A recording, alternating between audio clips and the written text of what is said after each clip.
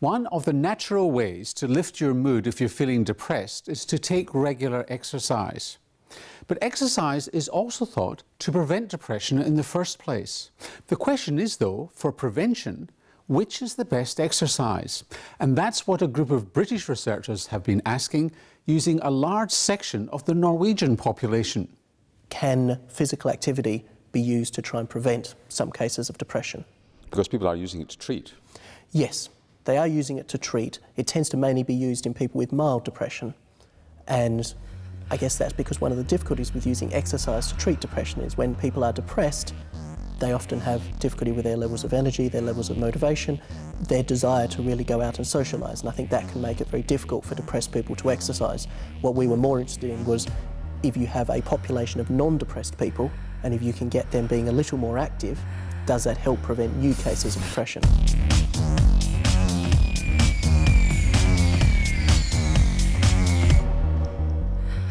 But going back to your Norwegian study, what did yes. you find? So what we found was that people who were more active in their leisure time were less likely to be depressed.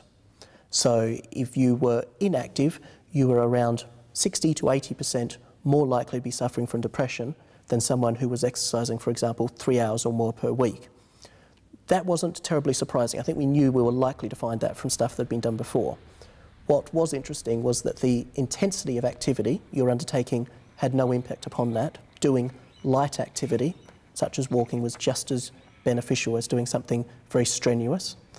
But the sort of the context of the exercise seemed to be vital. So if you're doing a lot of physical activity at work, that didn't seem to have any psychological benefits. It seemed to be very much around the context, and you, it was something about you being active in your leisure time that created those benefits rather than just the physical activity per se. And was there a time link? In other words, how much time you spent exercising, even if there wasn't a relationship with how intense it was? there was a bit of a dose response with time. So certainly, although that seemed to level out after the first few hours. So doing two hours a week seemed to be better than doing one hour a week. But as it sort of got further beyond that, the, the actual amount of benefit accrued seemed to decrease. Now, this was what people call a cross-sectional study, you know, a yes. slice in time, yes. looking at these people, and you don't actually see them through time. No. It could be, coming back to your comment earlier about depressed people, is that they find it very hard to activate themselves and get out. Yes. And could it just be that um, depressed people didn't feel like going out and exercising after work?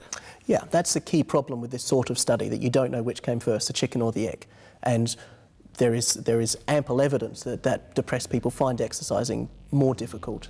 So that's definitely a major limitation from this, and that's now why we're following that same group of people going forward in time. Was there any hints from it that there might be a cause and effect relationship? Not that we could get from the data, no.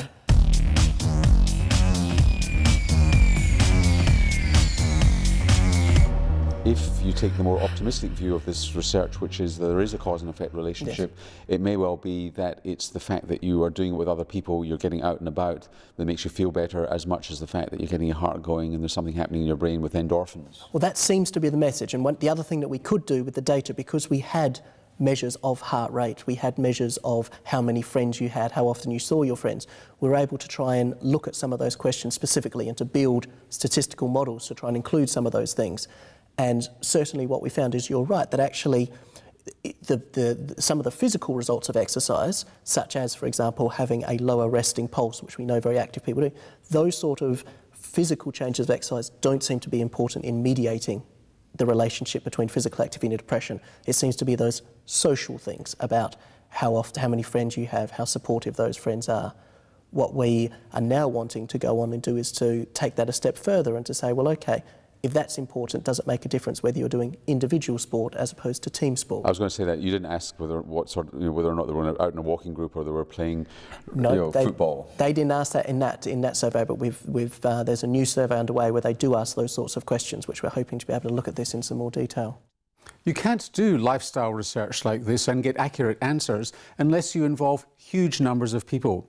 And that, in fact, is why the British researchers went to Scandinavia to find the answers. Scandinavians are particularly good at collecting data on themselves, and they had done really what was the largest ever health survey, where they'd gone to an entire region of Norway and asked everybody who lived there to be involved in this survey.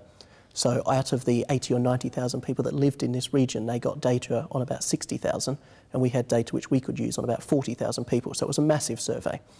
And amongst all of those 40,000 people, we knew how often they engaged in leisure time physical activity.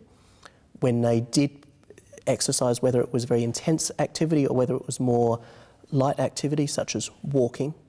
And then we also knew about their levels of physical activity in the workplace, and we were able to look at each of those compared to their levels of depression and their levels of anxiety.